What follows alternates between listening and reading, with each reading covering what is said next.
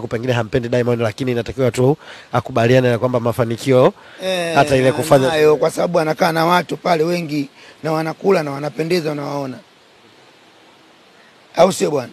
Kwa hiyo sasa sijajua yeye anazungumzia kwamba mimi nimesema ana, maf mafanikio kivipi. Mimi naangalia tu mazingira, kama kusoma ujui hata picha uioni yeah. Kwamba ukiangalia kwa macho tu unaona jamaa kuna hatua amepiga. amepiga Umeelewa? Lazima kuna wakati mwingine vitu vingine tunakubali, lakini vingine wanaviacha kama kawaida.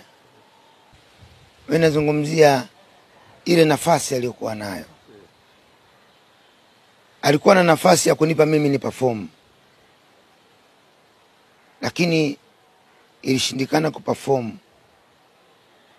Umeelewa? Na hapa tujasafiri kwenda um, nchi za nje, tujavuka hata Kenya.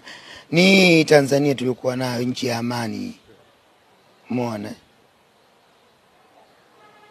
waliniita hata wenyewe wahusika kwamba bwana, njoo upande, ikashindikana. Ndio hiyo kuninyima mimi nafasi pia ni uchoyo. Kwa hiyo nataka ufanikiwe peke yako, maana mimi nazungumzia kazi kwanza. Nikionekana pale mimi hata hela yako siponipa, nakuwa nimejenga pesa ya kesho, mipango inaanza leo. Kwa mimi anavyozungumza si kusema kwamba nimesema mafanikio ndio maana nini. Mafanikio ndio hata kubadilisha mboga tu ni mafanikio. Kuna mtu anakula mlo mmoja tu kwa siku. yani kama hata kama